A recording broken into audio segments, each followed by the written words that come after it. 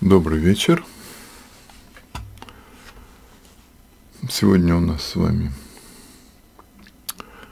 последние, так сказать, известия. Начинаем. Вот что у нас происходит сегодня на нашей планете.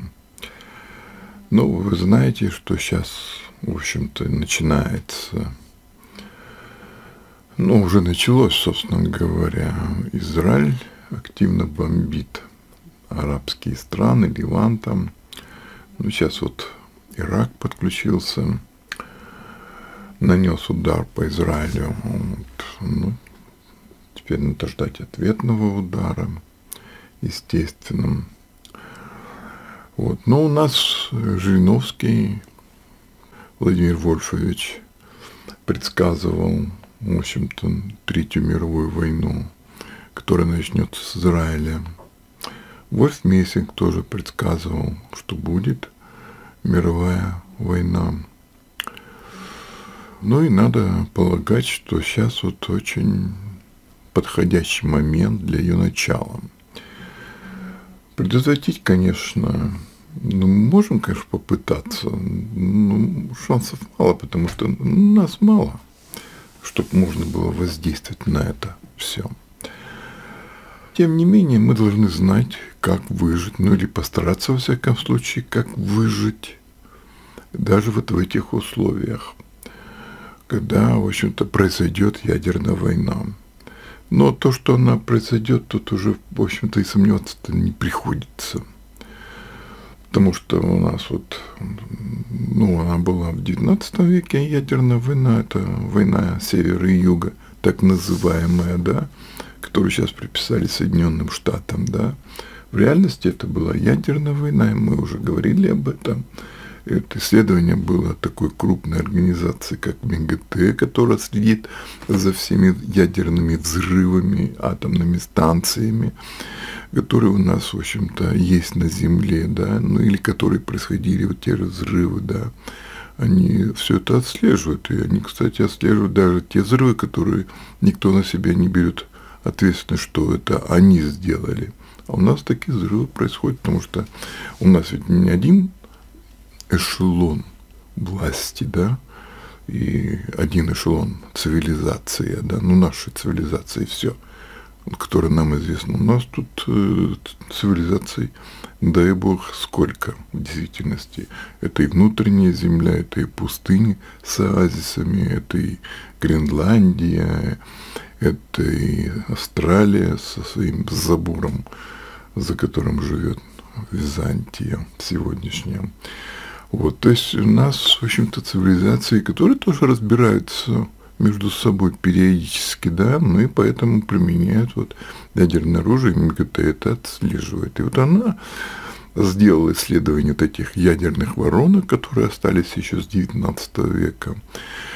Именно от ядерных взрывов они характерные, они, потому что круглые, там обычно озера уже, ну и они имеют вот эти остатки всевозможных примесей, которые характерны для того или иного месторождений. Так вот, выявили, что для Австралии характерные примеси, они встречаются вот в этих воронках. Африка тоже воронки и в Азии, и в Европе, и в Америке. Ну, мы сразу можем сделать вывод, кто с кем воевал. В реальности, ну, то, что мы сейчас севером называем, это была не только Америка, это была и Европа, и это была и Азия. То есть мы тоже участвовали в этой войне. Соответственно, те воронки, которые образовались в Африке и Австралии, они имеют примеси тех месторождений урана, ну и вообще транс, так сказать, плутоновых, этих радиоактивных элементов. Они такие же имеют примеси, как вот на в Европе, как в Азии, как в Америке. Вот, и они встречаются в Африке, ну, в воронках Африки, в воронках Австралии. Ну, известно, что Север вроде как победил. Но тогда в реальности это была война, в реальности эта война была за независимость, и в реальности мы воевали с остатками тех вот э, захватнических крестовых походов, которые у нас здесь осели на земле. Вот они осели как раз и в Африке, и в Австралии. Вот. Но Антарктика там тоже были, но Антарктика, она покрылась льдом сразу после ядерной войны, фактически, да. Вот, потому что выбрасывался воздух, воздух выбрасывался в космос ядерными взрывами. Ну, естественно, давление падало, и температура тоже понижалась. У нас раньше было тепло, что в Арктике, что в Антарктике. Росли там тропические растения, и их доходят до сих пор.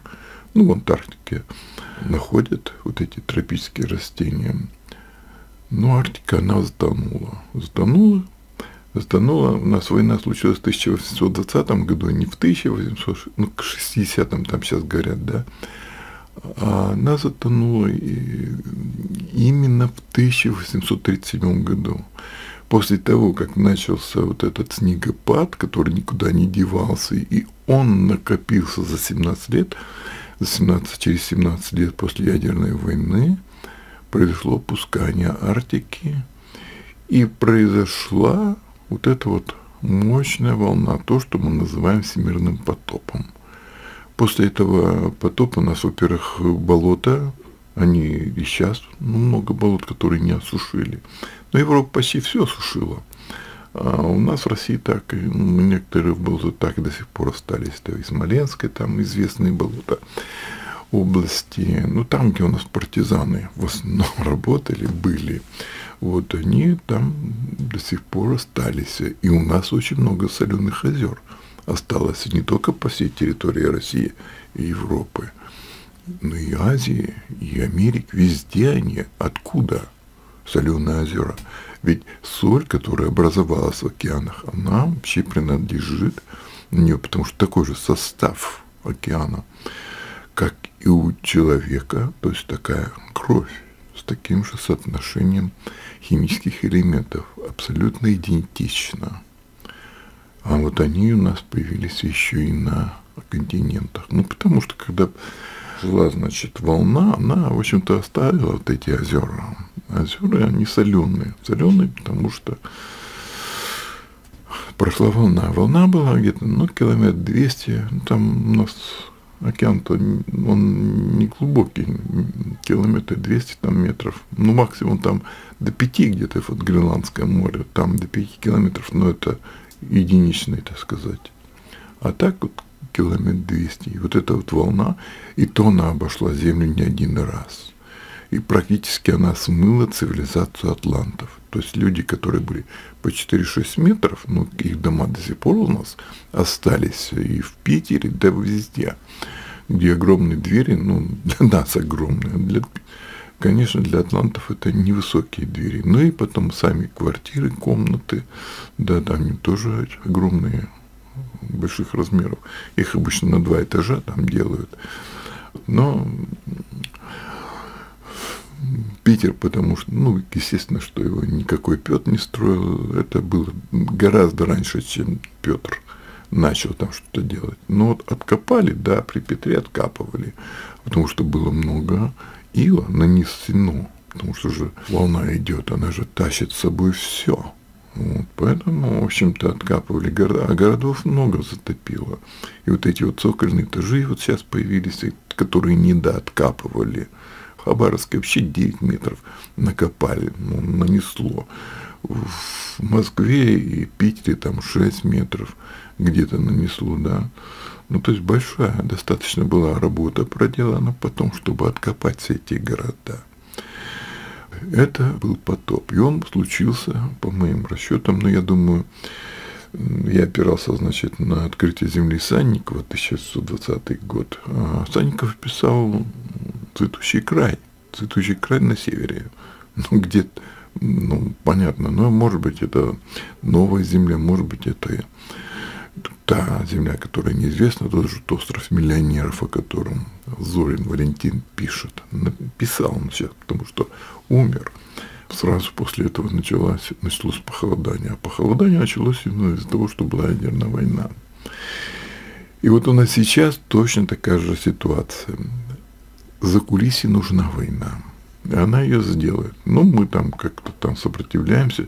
Какие-то еще есть здравые рассуждения в правительствах. Ну, я думаю, они долго там не продержатся. Там стараются все-таки, чтобы пришли всякие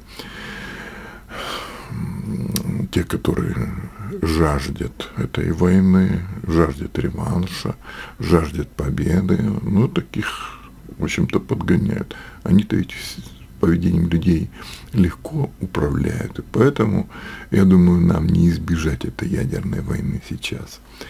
И вот когда сейчас произойдет эта война, им надо, чтобы создать такие условия на Земле, чтобы люди сами запросились на эту подобную, ну, вернее, прилетевшую к нам Нибиру, для того, чтобы, как и в свое время исполинов переселили, да, вот, ну теперь нас переселят. А если мы не захотим по каким-то причинам переселиться, ну, во-первых, там тоже будет выброс, большой выброс атмосферы в космос. Ну, понятно, что давление упадет, у нас так одна атмосфера осталась, но и сейчас даже ниже. У нас одна атмосфера это 766 миллиметров ртутного столба. А будет, ну, уже 740 вообще-то считается. Вот, ну, я думаю, скоро изменят нам эту постоянную атмосферу на 740. А сейчас она упадет вообще в два раза. Но это как на 5 километрах высоты. Ну, там люди-то, в общем-то, особо-то не могут жить. Понятно, что опять начнется, значит, снегопады, которые навалят много снега на Антарктиду. Ну и она тоже опустится, как вот Арктида. Арктида же опустилась в конце концов, из-за того, что снег некуда было девать, он же не стаивал. Э, ну и здесь то же самое. У нас потому что война была в 1820 году, когда давление упало 1400 миллиметров, но это еще опыты Торричелли показали, до 760 миллиметров ртутного столба. Столба было 1400 миллиметров ртутного столба. Ну и сейчас, если упадет до 350 до 400 миллиметров ртутного столба. Ну и, в общем-то, давление приведет к накоплению вот этих снежных заносов снега на Антарктиде. Но и она тоже опустится. В Арктике там, конечно, льды не, не очень высокие, там 2 там, километра, небольшие были. Но здесь чуть побольше будет, и не 17 лет пойдет, пройдет, потому что когда произошло, значит, накопление, потоп случился в 1837 году, это уже абсолютно точная дата. Я-то его высчитывал вообще 1842 год. Я, это я высчитывал, мои расчеты. А здесь очевидец. Очевидец сказал, что 1837. Ну, 17 лет с войны. Ну, у нас тоже, ну, 17 лет, ну, может быть, даже чуть и побольше, но это не важно. То есть у нас через, э, ну, будем считать даже 20, да, то есть сейчас 24 значит, в 44 году произойдет уже южный потоп, который смоет все остатки нашей цивилизации, но которая не пересилится по каким-то причинам на подобную Нибиру, она уже смоет, ну и Земля уже будет свободным. Ну, а то, что нас, в общем-то, раскрутит на эту войну, нам, в общем-то, даже думать, что не будет так, не приходится. Когда, значит, у нас произошла вот эта ядерная война в XIX веке, да, у нас вот эти озера сушили эвкалиптами. Вот они вот в Австралии еще остались и растут. Они потому что качают очень мощно воду с почвы и сушили озера вот как раз эвкалиптами, ну и те, которые, в общем-то, у нас росли. А у нас дело в том, что из-за того, что была низкая температура, эвкалипты не плохо растут при низкой температуре. Вот. Ну вот в Австралии вот они выросли. Нам качать будет воду нечем. У нас будут сплошные болота. Сплошные болота. Ну и понятно, что земля будет непроходимая, не ездить будет невозможно на нашем транспорте, на который у нас, в общем-то, остался еще и останется больших количеств, потому что людей-то много погибнет, естественно, да. Э, то есть, ну, у нас цивилизация будет тоже опять отброшена в каменный век. И фактически она будет уничтожена вот этим потопом, который произойдет вот где-то ну, в сороковых годах нашего столетия. Ну, от нашей цивилизации ничего не останется, и ее, в общем-то, заселят вот эти ребята, это за кулиса, которая, в принципе, здесь, ну, она уже прописалась здесь. Но какие вот есть варианты спастись? Я уже говорю, что читки, которые, ну, нас мало. Читками можно остановить этот процесс, но не то количество людей. У нас, ну, там сколько-то, ну, сотни-две там наберется, которые читают. Вот, а это очень мало. Вот японцы, когда они посылали на американскую эскадру, плывшая отомстить за Перл-Харбор э, японцам, да, там весь народ вышел. От миллиона. Ну, ну, ну, у нас понятно. Народ спит, ну, чего можно со спящим спросить и предложить. Есть вот такие варианты. Э, ну вот знаете, что в старых деревнях, ну, которые еще как бы использовали знания древнеправославных традиций, да, там, значит, вот вокруг каждого поселка ходили э, с трещотками. Трещотки, они, ну, как мы уже рассказывали, они имеют количество зубцев в круге до 24. 24, 23, ну, когда какой покрытие идет, то количество зубьев и включается в один оборот 23, там 22, или один вообще, как у праве ну или 22, там, например, как у Велеса, ну и так далее. И это задавало какие-то события в данном месте. Но дело в том, что случались такие вот происшествия, как исчезновение поселков, которые ну, были здесь, а потом их не стало. У нас это сейчас происходит тоже, но они происходят не потому, что вот ходят с этими трещотками, с трещотками в параллельных пространствах тоже ходят.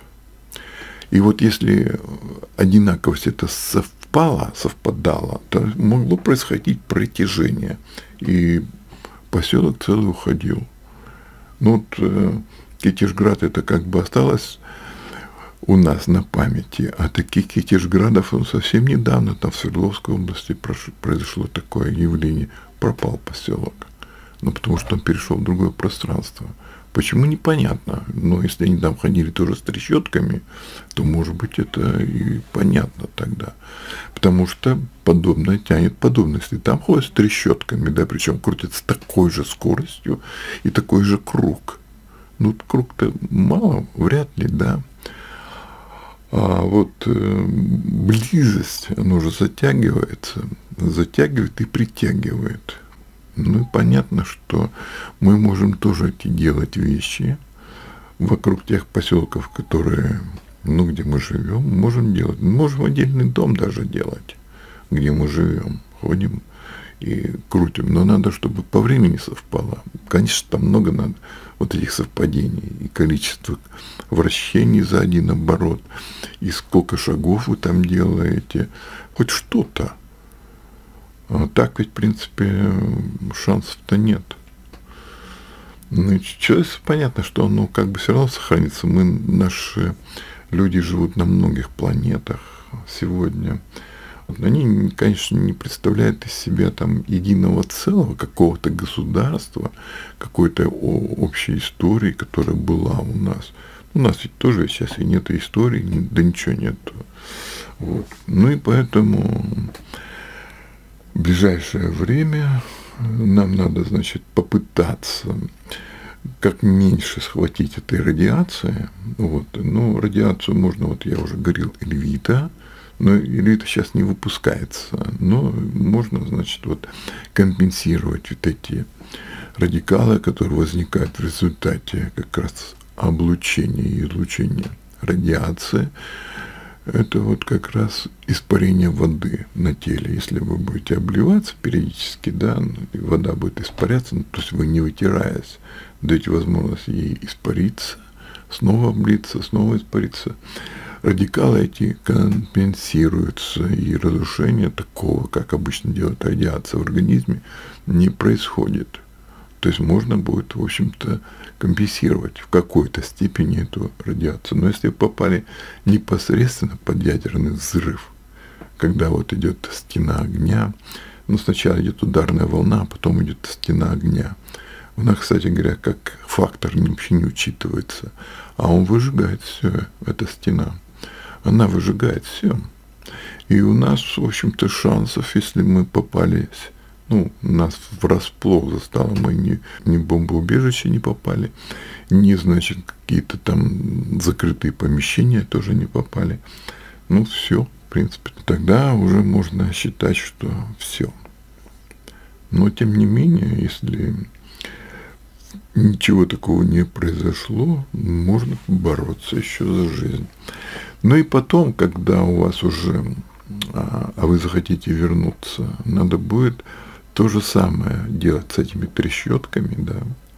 Вот, ну, правда, вот как у нас распределение идет, да, как вот начиная с июня, с 21 там трещотка идет один зуб, потом два зуба, это уже 21 июля, потом идет, значит, уже 21 Э, августа три зуба, ну и так далее, до 24, то есть два круга. Два круга. То есть если после 21 через 18 дней, да, а нет, у нас сейчас 12, у нас сейчас через 12 дней идет, значит, вы делаете если месяц, но считаете по древлеправославному календарю, не по этому, потому что древлеправославный – это естественный календарь, а эти все искусственные календари ну, которые нам сейчас выдают за греческие якобы, но они все римские, потому что все названия римские. Всех месяцев, там июль, честь Юлия Цезаря, август, ну, тоже был такой император, октябрь тоже такой император был, вот, э, Янус в честь января, ну, январь в честь, Януса, февраль в честь Фавна, это месяц мертвых, там, ну, март в честь Марса, Марта, Марта и Марс, ну, на разных языках по-разному звучит. И фактически это все римские, римские. Но и они сдвинуты относительно нашего древлеправославного календаря на 14 дней. Поэтому у нас эту поправку надо делать будет обязательно для того, чтобы попасть в другое пространство. Ну а когда все закончится, и вы захотите вернуться обратно на Землю, хотя вы и там будете на, на Земле, потому что это будут размноженные миры, размноженная Земля. Тем не менее, некоторые все равно хотят вернуться там, где... Хотя здесь ничего не будет уже, все будет разрушено. Потому что мы же там можем, там сколько-то десятков раз уничтожить планету. Столько накоплено оружия. Ну, понятно, что никто, так сказать, спуску давать не будет. Ну и потом ведь у нас экология ядерных взрывов, она же всегда была запрещена, потому что я вот защищался один из первых по этому вопросу. И это было все сплошной секрет. Ну, почему я отказался, в принципе, от докторской, от всего. Хотя потом но все равно мне дали, как оказалось, но я этого даже и не знал. Потому что диплом у меня был кандидата фактически. Но и сейчас ситуация. Можно, конечно, сделать читки, вот обратиться, может быть, ко всем людям, которые поддержат это начинание. Ну и может быть, что-то удастся изменить. Но поскольку у нас Жириновский и Вольф Мессинг предсказали, что ядерная война мировая неизбежна, ну, значит, надо готовиться именно к ней. Причем ближайшие события, это, ну, буквально там 20 лет, то максимум, когда уже вызовется потоп. Причем потоп у нас будет не километр волна, 200 метров, а 3 и 7, как минимум, километра, 3,9. Потому что у нас и Тихий океан, и Индийский океан, но они все больше трех километров. 3700, 3900. Ну, такая будет волна.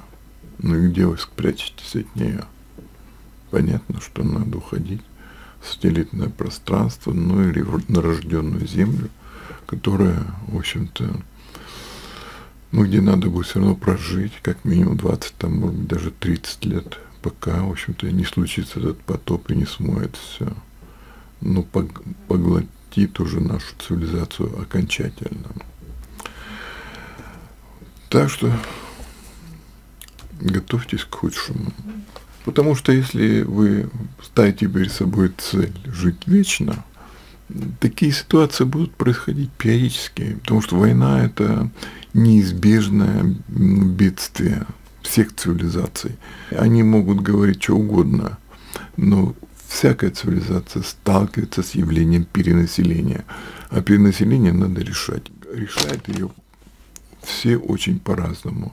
Или зондер-команды там вводят, ну у нас есть зондер-команды, или натравливают, ну как у нас опять же, стравливают друг с другом всякие нации между собой. Или, значит, приглашают кого-то, которые могут захватывать и уничтожать. И это тоже у нас есть. Есть, значит, вот эти вот поселки вампиров, которые представляют из себя интендантские войска, которые тоже уничтожают, в общем-то, население воюющих государств. Ну, для того, чтобы разжигать еще больше ненависть друг к другу. Они же все это делают под э, чьим-то флагом, ну, одна из воюющих сторон.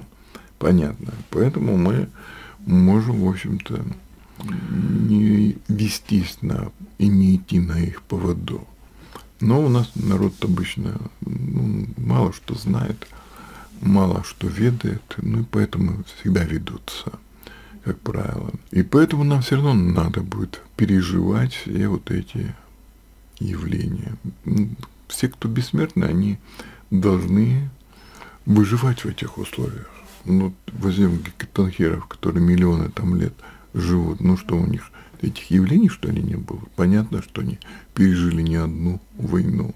Естественно, да, они гибли, теряли не одну жизнь, потому что ну, у них как минимум 50 жизней реальности, как минимум. Вообще там их 52. Но это максимум, который возможно с нашими рычагами. У нас 52 рычага. Соответственно, значит, 52 тела мы можем создать. Больше не можем создать, потому что рычагов не хватает каждый рычаг, он связан с каким-то одним телом. А вот сейчас нам надо рассказать, у нас когда люди жили по тысяче лет, ну, долго жили, да, у нас помимо прабабушек, нельзя же говорить про прабабушку, ну про прабабушки еще бывает, а вот про прапрабабушка, потом про про про прабабушка еще четыре уже, пять про про бабушка, шесть про прабабушка, ну там же э, если в 25 лет у нас сейчас рожают детей, да, ну, и у нас еще и раньше могут родить, ну, в среднем 25. Вот. Понятно, что 25 лет за тысячу лет это 40 поколений, так 40 раз вы про проправить не будете рассказывать. И у нас были совсем другие понятия. У нас были патроны, это про дедушка, и были матроны, это про бабушка. Но у нас женщины, они имели матрон в, в обережестве, а мужчины патронов имели.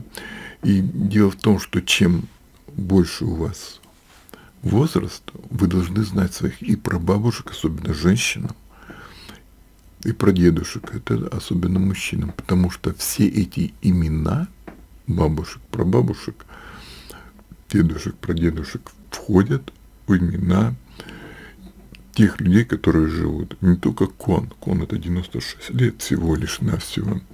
Не только этап, на это 576 лет или 500 лет.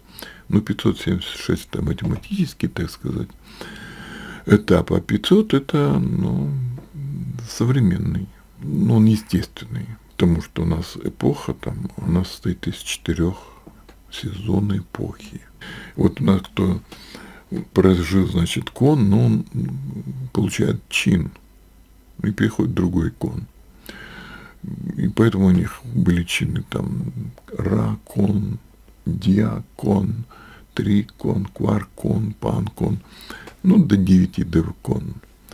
Вот и вот они прожили девять конов и получили такой чин. А вот кто прожил этап, да, вот этап – это хетты, ну или гетты. Нас они в истории сохранились, гетты. Ну, сейчас Г у нас исчезла, она только в сербском и украинском языке осталась, а в русском его убрали.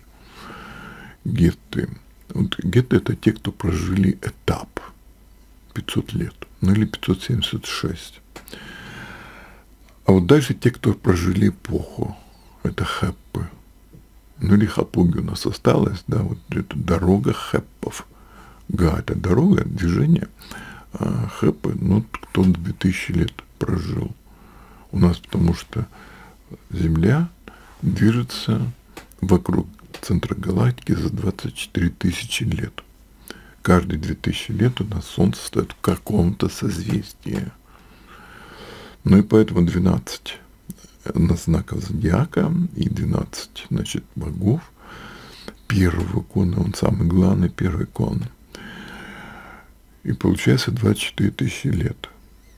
Ну, нам говорят 150 миллионов лет, но это художественный свист. Вот, потому что Солнце-то встает в одном только созвездии 2000 лет. Но это известно не только от египтян, это вообще известно даже по счету показывает, что движение как раз вот Солнца ну, около двух тысяч лет. Но сейчас они там вычисляли, что больше двух тысяч лет. Но это все неправильные подсчеты, потому что у нас все увеличивают, как правило. Увеличивают для того, чтобы нам внушать, что такие огромные расстояния, и мы их никогда не преодолеем. В реальности наша галактика имеет там 5 где-то световых лет всего лишь в диаметре. Ну, я раньше считал 30, но это уточненные данные говорят, что 5 всего лишь. Но это ни, о чем, можно так сказать. Это очень близко все находится.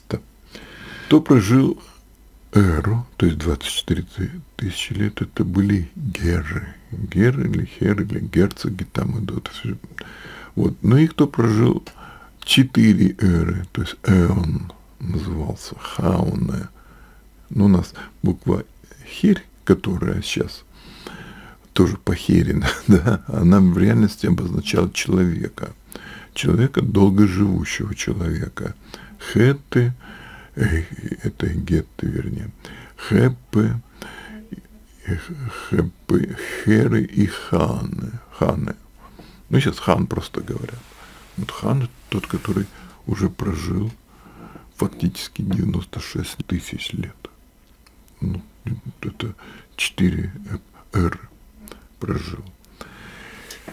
И вот когда вы прожили этап, у вас должна быть уже в вашем имени появляться бабушка, ну, то есть Матрона, прабабушка Матрона, если вы женщина. Но если вы мужчина, значит, должен появиться в вашем имени прадедушка, ну, то есть патрон.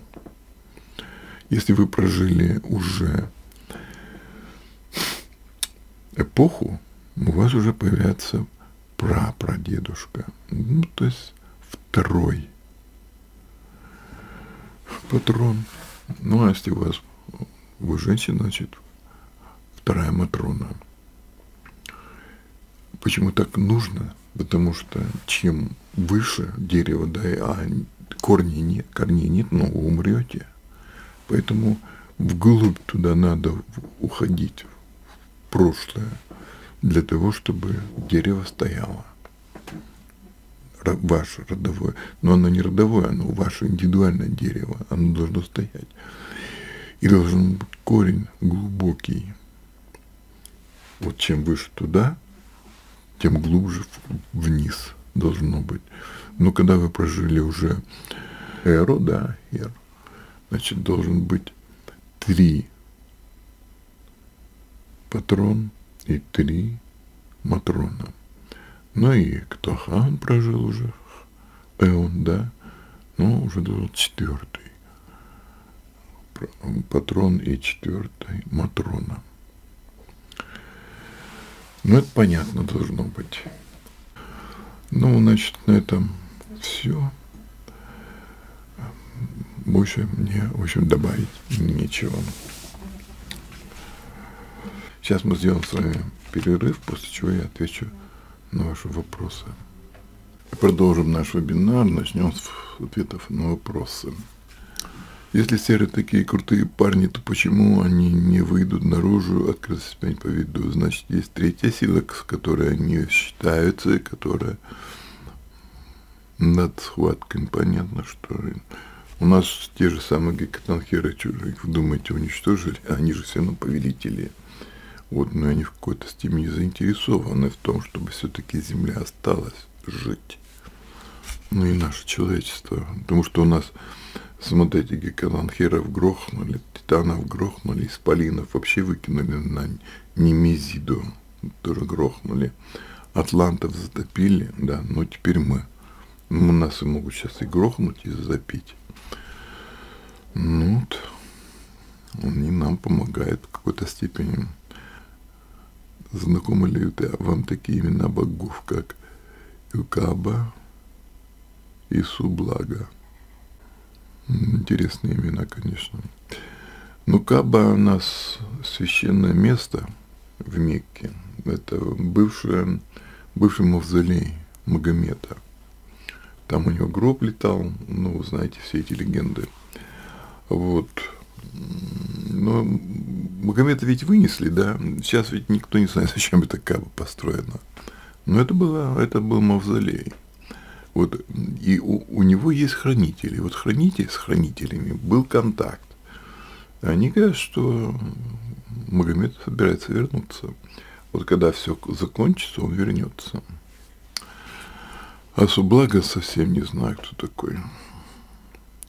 Но у нас ведь много всяких народностей, у которых разные боги. Ну, может быть, только вот такие и есть боги. Я правильно понял, что «Капитал» написал Ленин, а не Маркс. И не тот, который нам подсунули. Ну, «Капитал» там он, первый том, который нам все дают, а там есть еще тома, которые, ну, как бы, они черновики, вот, ну и э, Ленина у него вообще 55 томов, вот издавали, но там и письма, и все издавалось. Вот. Ну а Ленин, вы если посмотрите на Карла Маркса, вот, ну, в принципе, Ленин одна фотография, одно лицо. Но говорят, что ли Маркс в 1817 году родился.